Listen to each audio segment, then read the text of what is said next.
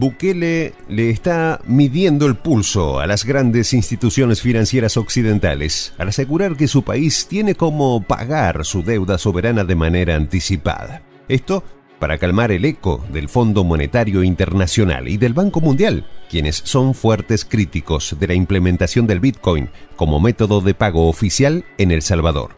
A la seguidilla de detractores se le suma el propio gobierno estadounidense y periódicos como The New York Times. Con el apoyo de los salvadoreños en ese país, Bukele va sorteando cada obstáculo que se le presenta en el camino y asegura que su país está preparado para pagar la deuda que se vence en 2025. ¿Lo logrará?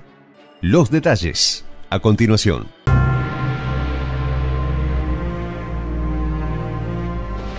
Voz de la Patria Grande.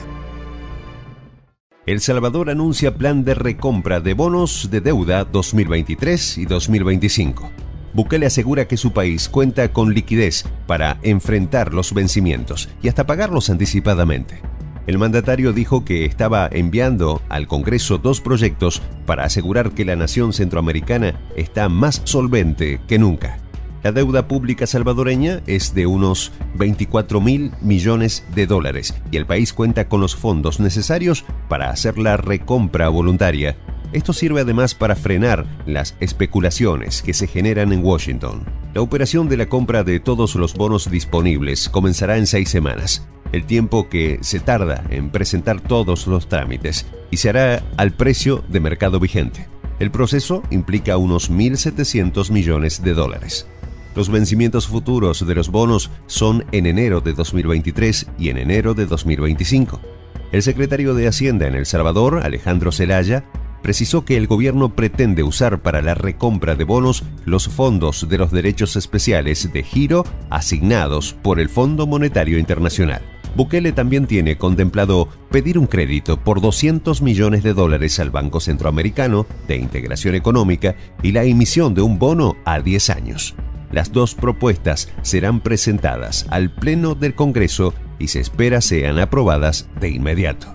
El Salvador debe pagar en enero de 2023 un total de 800 millones de dólares en eurobonos y en enero de 2025 otros 800 millones de dólares, de acuerdo con el registro estadístico de las emisiones de valores de la República del Salvador es una operación de compra anticipada de bonos soberanos salvadoreños totalmente voluntaria, pública y que respeta tanto las cláusulas de nuestros bonos como todas las reglas de los mercados bursátiles internacionales. Así dice Celaya en una rueda de prensa. Estas medidas están colmando la preocupación de los más reaccionarios, quienes aseguran que el país centroamericano corre el riesgo de un default. Nosotros no vamos a violentar ninguna de las reglas, ni mucho menos la confianza de los inversionistas, así asegura el encargado de Hacienda. Con esta operación histórica no se está socavando la fortaleza de las finanzas del Banco Central de Reserva, dado que se estimará un bono adicional para mantener la robustez del sistema financiero salvadoreño. En 10 años, el Ministerio de Hacienda pagará o recuperará esos fondos que han sido prestados momentáneamente para estos vencimientos. Bukele se está anticipando a la posibilidad de una recesión mundial que haga que las deudas aumenten.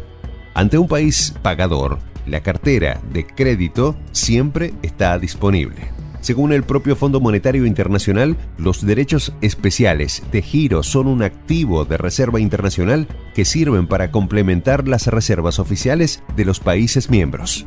Nayib Bukele hace uso de este mecanismo. De acuerdo con la economía salvadoreña, Tatiana Marroquín, con la compra anticipada, El Salvador podría ahorrarse dinero el uso del Bitcoin como un complemento para el desarrollo sostenido en el largo plazo ha convertido a El Salvador en referente para países como Suiza o Chile. La compra de los bonos es una medida acertada para aliviar la carga de deuda del Estado. La empresa Morgan Stanley dice que los eurobonos emitidos por El Salvador a sus niveles de precios actuales son una oportunidad de compra. Simon Weber, jefe global de estrategia de crédito soberano para mercados emergentes del Morgan Stanley, mantiene una visión optimista de las perspectivas económicas de El Salvador y dice que es poco probable que el país entre en incumplimiento en medio de una liquidez global limitada. Las perspectivas del país están relacionadas con el cambio de política del gobierno actual que va desde la adopción de Bitcoin como moneda de curso legal hasta el anuncio del lanzamiento de bonos BTC. El gobierno salvadoreño anunció el año pasado la emisión del Bitcoin Volcano Bond, un bono soberano que busca recaudar hasta mil millones para las arcas del gobierno. Toda una hazaña para un país de un poco más de 6 millones de personas. Del total recaudado, 500 millones de dólares serán destinados a la construcción de Bitcoin City y 500 millones a la compra de criptoactivo para las arcas del gobierno. Bukele, desde su llegada al poder, ha sido disruptivo y su partido Nuevas Ideas controla dos tercios de la Asamblea Unicameral de su país. El mundo desea que El Salvador no solo logre pagar anticipadamente la deuda, que cuenta con el visto bueno de Morgan Stanley, sino que además sirva de ejemplo a otros países con economías y poblaciones mucho más grandes. En 2021, los préstamos pendientes totales del Banco Centroamericano de Integración Económica a El Salvador crecieron un 67% a 2.100 millones de dólares, de 1.300 millones en 2020. El Salvador es ahora el prestatario más grande del BCIE, representando el 25% de la cartera de préstamos del banco. Deber es una estrategia de crecimiento que muchas potencias occidentales han usado durante décadas. La clave es pagar a tiempo y Bukele da un paso al frente, adelantando el paso de los bonos de deuda de un país que siempre da de qué hablar. El modelo económico salvadoreño divide la opinión de los economistas. Los tenedores de deuda están optimistas porque pueden recibir el pago anticipadamente y decidir volver a prestar. La gran misión es que todo ese dinero siga permitiendo que miles de salvadoreños salgan de la pobreza. El Salvador podría obtener 435 millones de dólares adicionales en financiamiento del BCIE antes de tener que recurrir a otros bancos multilaterales regionales para obtener financiamiento. El gobierno ya ha comenzado a acercarse a nuevos socios multilaterales de desarrollo con su reciente aceptación como el miembro más nuevo del Banco de Desarrollo de América Latina, CAF, cuyas oficinas centrales se encuentran en Caracas. El gobierno salvadoreño celebró un acuerdo para suscribir 460 millones de dólares en nuevas acciones, con el primer pago de 65 millones antes de fines de septiembre de 2022. Después de ese primer pago, el gobierno tendrá acceso al monto total en financiamiento potencial basado en proyectos. Bukele y El Salvador cuentan con el apoyo también de CAF. Los residentes en el exterior ven con buenos ojos las medidas que se van tomando en pro de estabilizar los temores que causa en Bitcoin y que ha sido incluido artificialmente desde Washington y Nueva York. Soy el J, Juan José del Castillo director del canal Prensa Alternativa. Si quieres ser parte de la comunidad de la Patria Grande, suscríbete a nuestro canal. Si es que quieres que te lleguen las notificaciones cada vez que subimos un video, activa la campanita. Si quieres apoyar a nuestro canal económicamente, puedes hacerlo a través de PayPal. El enlace está en la descripción del video.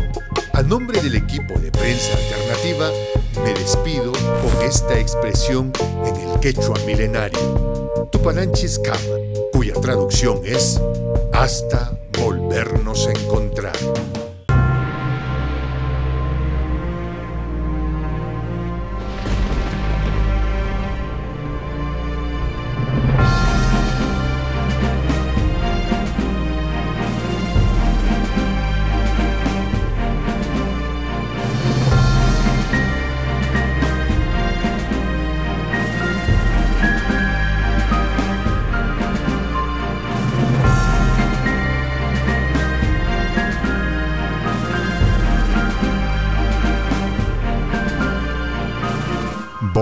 De la patria grande.